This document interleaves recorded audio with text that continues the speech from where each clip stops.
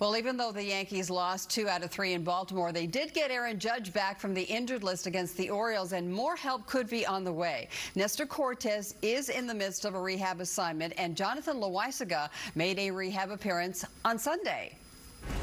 Working for the single A Tampa Tarpons against the Dunedin Blue Jays, Loaisiga threw 18 pitches, 15 of which were strikes. He only made three appearances in the majors before going on the injured list with right elbow inflammation, and he later had surgery to remove a bone spur. Now he is working his way back to the big team.